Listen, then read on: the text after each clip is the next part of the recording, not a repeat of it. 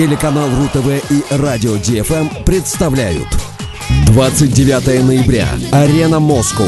Оксана Почепа с юбилейным концертом «Акула».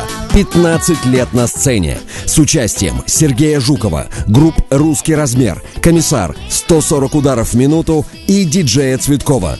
Заказ билетов на сайте концерт.ру.